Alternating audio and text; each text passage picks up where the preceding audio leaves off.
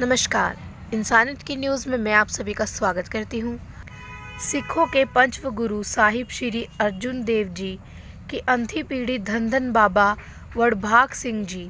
321वां जन्म दिवस 5 और 6 सितंबर को कुरुक्षेत्रा के कीर्ति नगर में बहुत ही धूमधाम से बनाया गया। जहाँ बाबा जी की सत्संग के साथ साथ बाबा जी का निशान साहिब भी चढ़ाया गया। और भंडारे का आयोजन किया गया। ये दरबार श्री अखंड दरबार साहिब साधारण डेली द्वारा बनाया गया है, जिसके मुख्य सेवादार दास बाबा अजय सिंह जी और दास गुरदास गांधी जी हैं।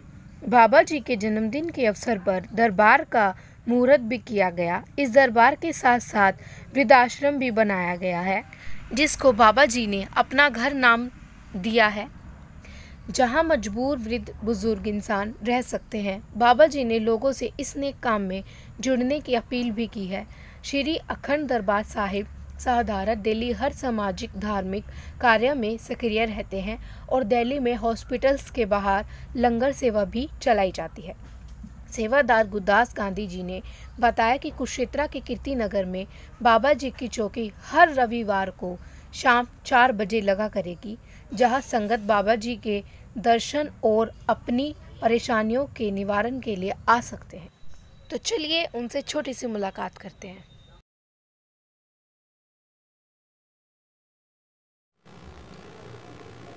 नमस्कार, हमारे न्यूज़ चैनल इंसानियत की आवाज़ में आप सभी का बहुत बहुत स्वागत है। तो आज हम पहुँचे हैं श्री अखंड दरबार साहिब बड़बाग सिंह के दरबार में। तो आइए जानते हैं कि जो इनका सबसे पहला स्थान है, वो कहाँ पर है और किस वजह से है।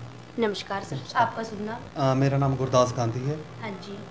श्री अखंड दरबार साहब शाहदरा दिल्ली में स्थापित है हाँ और उस डेरे को स्थापित हुए इकतीस साल हुए हाँ जहाँ मैं 26 साल पहले जुड़ा था जो हमारे गुरुजी है वहाँ। बाल योगी बाबा अजय सिंह जी हैं जिनके साथ हम जुड़े और वहीं से सेवा का ज्ञान लिया और जो हम यहाँ दरबार स्थापित किया हमने यहाँ दरबार खोला है। उसी दरबार के साथ साथ हमने एक वृद्धाश्रम भी बनवाया जहाँ जो बुज़ुर्ग इंसान हैं जिनके बच्चे उनको अपने साथ नहीं रखते उनके लिए यहाँ वृद्धाश्रम भी बनवाया है जहाँ वो यहाँ रह सकते हैं जिसको हमने अपना ना घर के नाम से भी दिया है कि वो अपना घर समझे कहीं परायापन ना लगे उनका अपना घर है अपना घर समझ के रहें उनके लिए ही बनाएँगे तो जो आपका सबसे पहला दरबार है तो सर वो कहाँ पे स्थित है?